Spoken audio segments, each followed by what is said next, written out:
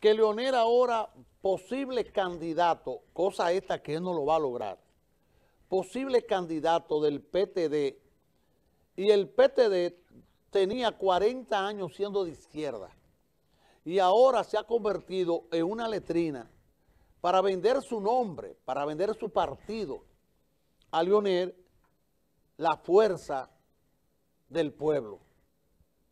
Entonces, con esa situación tú te preguntas, pero Dios mío, ¿qué tipo de lucha es esta? Quitemos el PLD para traer al grupo de Leonel, pero un grupo igualito que Danilo, ahí no hay diferencia, porque la lucha de Leonel y Danilo no se trata de una lucha, ¿quién quiere imitar a vos? Mierda, eso no es así. La lucha entre esos dos bandidos es quién controla los recursos que le queda a este pobre país de la corrupción, que es el lío de Haití. ¿Qué está pasando en Haití? Bueno, que en Haití hay dos extremos. Una clase extraordinariamente pobre y una clase extraordinariamente rica. El conflicto que se está dando en Haití es quién diablo domina los pocos recursos que esa, esa, pobre nación produce. Los pocos recursos que esa pobre, es la lucha que se está dando ahora y utilizan un pueblo que se presta a mil cosas porque así como Leonel conseguía motoconchistas pagándole 500 y 300, en Haití se da lo mismo. En Panamá hay un paquete de movilizaciones el caso de Bolivia con Evo Morales, que huele que es antiimperialista, esa oposición que ustedes ven ahí, esa oposición es alimentada por Estados Unidos. O sea que no tenemos una lucha realmente de pueblo. No tenemos una lucha realmente de pueblo. Tenemos una lucha de entre los sectores ricos, muy ricos, cómo repartirse los niveles de corrupción que tienen los pueblos. La lucha es esa. Y lo que se está dando en Hong Kong, porque parece que es el mundo que está así. En Hong Kong es una ciudad que está cerca de China comunista, al lado, hacen frontera. Y lo que quieren esos hombres de Hong Kong, la juventud de Hong Kong, que le permitan más corrupción, discoteca, droga, chulía, chuleo, eh, vida desorganizada, permitan que los maricones tengan asociaciones, que tengan, que tengan representaciones, que puedan llegar al Congreso, que sean diputados. O sea, que oiga lo que está pidiendo esa ciudad, Hong Kong. Pero todo eso es alimentado por Estados Unidos para producir divisiones en los pueblos para que no se produzca una unidad. Le voy a hacer un ejemplo le voy a hacer un ejemplo, el por qué a Estados Unidos le interesa que los pueblos se dividan y hagan luchas pendejas, no luchas realmente que le beneficie a la sociedad, sino lucha por una serie de disparates y de cosas que desaparecen, como el caso de Mancha Verde, que yo le dije, es un grupo sin cabeza y de poca duración. Ahí está, sin cabeza y de poca duración que algunas veces salen cinco que se ponen un suete verde y di que ellos son la marcha verde, porque no tienen cabeza, ni tienen nombre, ni tiene dueños esa pendejada, cualquiera dice que es marcha verde. Pero le voy a explicar el por qué se dan esas cosas.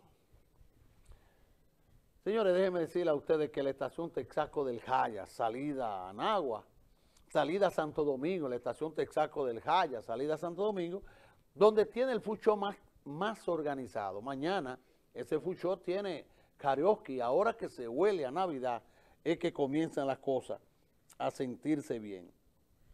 Muy bien.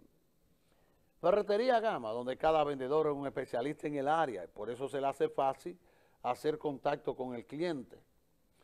El vacacional Mimi Bonilla le comunica a ustedes que ahí tenemos, por ejemplo, a Ino Vargas, que podemos hacer un concierto, a todos los productores a las compañías que quieran celebrar su día de Navidad, le estamos invitando que celebremos el día de la Navidad ya en el proyecto vacacional. Cheturo y Victoria está vendiendo su casa ahí en la Avenida Libertad. y Lincoln Díaz está vendiendo 10 mil metros y medio ahí al lado de la Universidad Nordestana. Recuérdate que vamos a viajar como antes, que usted llamaba al chofer y el chofer lo pasaba a buscar. Si al consulado, a la embajada, él lo lleva, lo trae y lo lleva, a lo que usted quiera.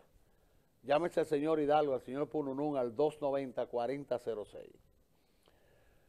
Teite Ferretería, la que llegó pequeña de VG con Salcedo, se ha vuelto toda una monstruosidad. Señores, la doctora Almonó, quiero agradecerle a la doctora Almonó que me envió unas cuantas gotas alfagán para los ojos, que yo me sigo preguntando, esas gotas que la doctora me regala alguna vez, que es tan cara, que cuestan 1.300, y son gotitas que duran poco, ¿de qué será que la hacen que le sale a 1.300 y peso a la gente?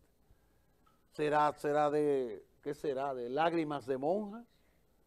Lágrimas de monjas enamoradas, porque no es de monja cualquiera, no, porque son gotas increíblemente caras. La doctora Almonó siempre me mantiene al tanto. Señores, yo no uso el agua María como una publicidad, sino como una necesidad.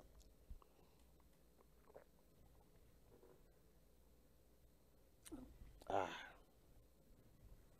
Podemos decirle a ustedes, miren, miren qué caso debería ser tomado por los grupos populares y ese tolete de huelga que aquí se organiza, organizarlo por este objetivo.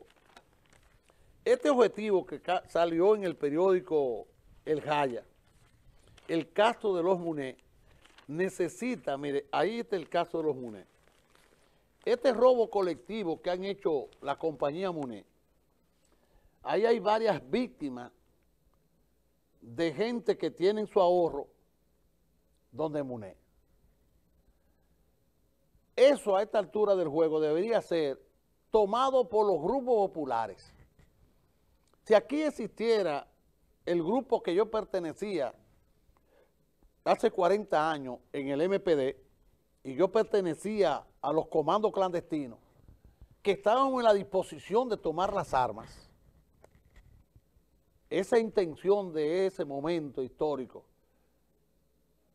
debería retomarse otra vez para enfrentar a estos monstruos que no son a ellos solos que han engañado, han engañado a todo un pueblo. Señores, los MUNE, cuando antes de hacer el robo total, los MUNE, por ejemplo, aquí hay un taxista que dice, miren, Ramón Portuondo, taxista de 30 años, dice que en Nueva York, él, era, él es Nueva York, pudo reunir 4 millones. Lo depositó donde Muné. Entonces, con el dinero de los intereses que dan, con eso él se lo reparte, parte de eso a su familia, para que el papá compre el café, vaya a la farmacia, compre el blog, compre la pintura ahora para Navidad.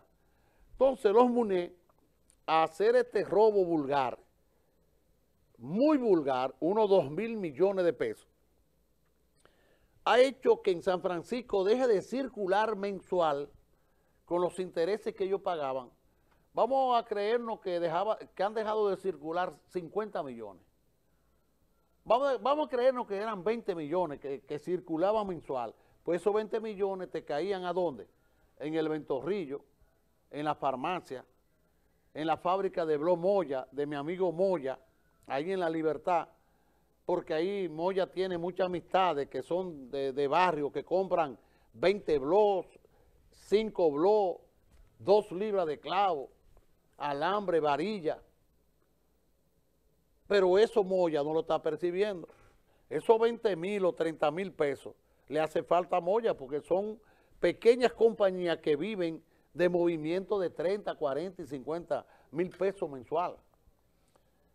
Y o 100 mil entre todo el grupo de los clientes. Eso ha dejado de circular. Entonces este problema de los MUNE no puede quedarse como un problema exclusivamente de los usuarios. Debería pasar a los partidos de izquierda. Digo, es que no hay esa vaina, eso se jodió.